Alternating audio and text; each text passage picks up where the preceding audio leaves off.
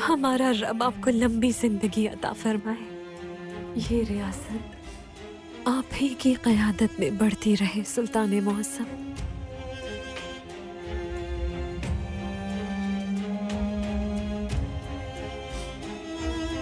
और हम चाहते हैं कि आप अभी और इसी वक्त हमारी सरजमीन से निकल जाएँ।